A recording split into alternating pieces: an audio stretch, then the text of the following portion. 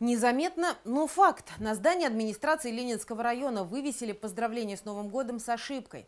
Новый год в данном случае название праздника, и по правилам русского языка слово «новый» пишется с заглавной буквы.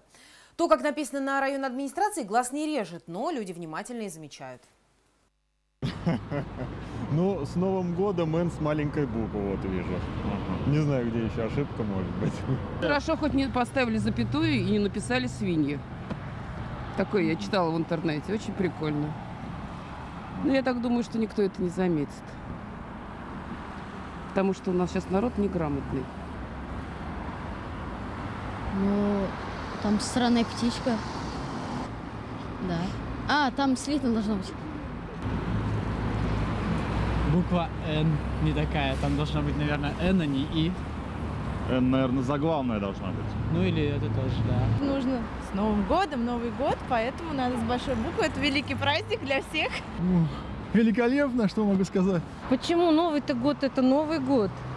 А это с Рождеством, с Большой, с Новым годом. Да, Господи, это... У нас одна елка в районе, вон, вот там у России стоит. Что вы хотите? Большинство людей, каждый погружены в свои проблемы, и единицы заметят, что где-то вот какая-то ошибка вот висит. Но вы сразу на же самом увидели. деле. А вы обратили внимание мое, понимаете?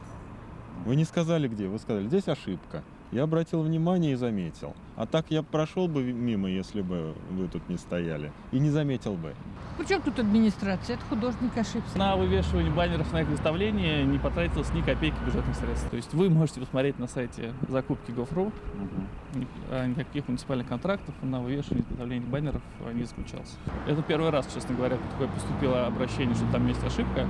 Действительно, ошибка там есть, да, мы ее, конечно же, исправим. На этой неделе, если завтра э, нам предоставят вышку, мы, соответственно, внесем изменения, в ближайшие дни мы ее, конечно исправим.